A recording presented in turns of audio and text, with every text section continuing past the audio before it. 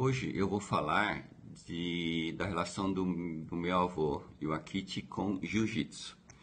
Ah, os samurais eram os guerreiros de antigamente, do tempo é, feudal no Japão. E eles usavam uma espada chamada katana. Mas não era só o uh, o uso katana que eles praticavam. Eles praticavam uma luta marcial, uma luta de guerra, chamada jiu-jitsu. Jiu-jitsu é uma luta é, que não usa a, a espada, né? E que depois uh, foi adaptada para virar uh, esporte e que acabou virando o judô. Meu avô, ele tinha um, um problema na perna por causa da paralisia infantil que ele contraiu quando era criança. Por isso, ele mancava de uma perna. E no jiu-jitsu, ele, ele é, optou por fazer uma modalidade que usava um bastão.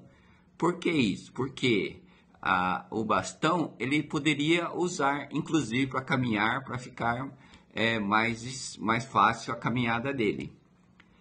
Ele, em Hiroshima, é, foi aluno de um professor e ele era o melhor aluno da, dessa escola.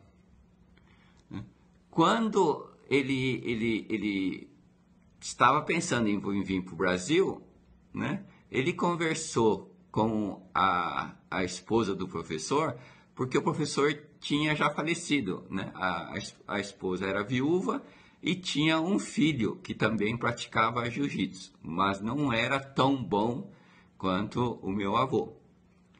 Uh, meu avô queria saber da esposa do professor se ela gostaria que ele ficasse, tomasse conta da escola. Mas a esposa do professor falou que ia deixar a escola para o filho, né? apesar é, do meu, do meu avô saber que ele não era, não era é, bom praticante de jiu-jitsu. Daí, o avô veio para o Brasil e estava lá em, é, em Garça, lá em Roça Grande, quando essa, essa viúva do professor mandou uma carta pedindo para ele voltar para assumir a, a, a escola de jiu-jitsu, mas ele não quis voltar provavelmente porque ele ficou chateado da, da esposa do professor não ter reconhecido a capacidade dele. É, depois disso, é, meu avô nunca mais praticou jiu-jitsu. Né? É, se vocês forem na casa da tia Lúcia, pode pedir para a tia Lúcia mostrar o diploma dele de formatura do jiu-jitsu. Mas o conhecimento que ele adquiriu com o jiu-jitsu ele usou em muita coisa. Né? Uh, lá em Hiroshima, toda vez que alguém afogava e ficava desacordada, inconsciente, meu avô era chamado para reanimar a pessoa. Muitas pessoas ele salvou do afogamento. Né? E aqui no Brasil, ele praticava é, massagem e mocha, que no, que no Japão chama yaito, que é um tipo de tratamento para dores, para dores tipo dores reumáticas.